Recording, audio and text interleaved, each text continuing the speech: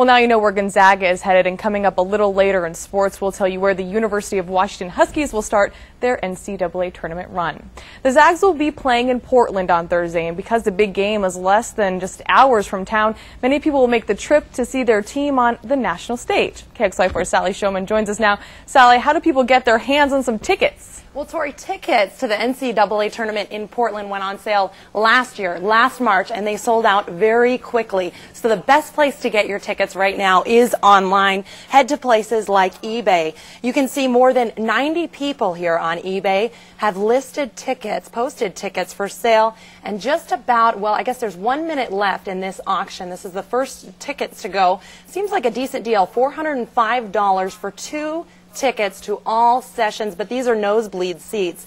So I want to give you an idea of just how competitive this is, this whole process is. Look at these bids. I mean, not too many there, four, two, uh, but 17 bids here, 58 bids there, 36 bids there, eight bids there. Another option online is titco.com. Let me click over there.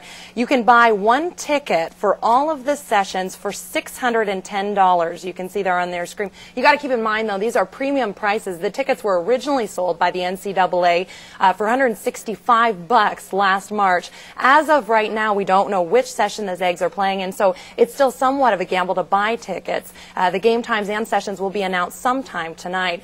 As for traveling to Portland, I checked flights to Portland from Spokane, leaving Wednesday and coming back on Sunday.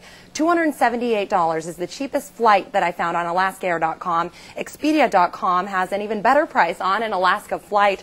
That is $208. And Southwest has a round trip ticket to Portland from Spokane at $218. Now, if that just sounds too expensive, think about driving. It takes about five and a half hours to get to Portland, as many as of us know. The average price of a gallon of gas here in Spokane is $2.07, a little bit cheaper in Portland where it's $2.01. So happy traveling, everyone. Good luck getting there to the big games and getting a ticket. Back to you.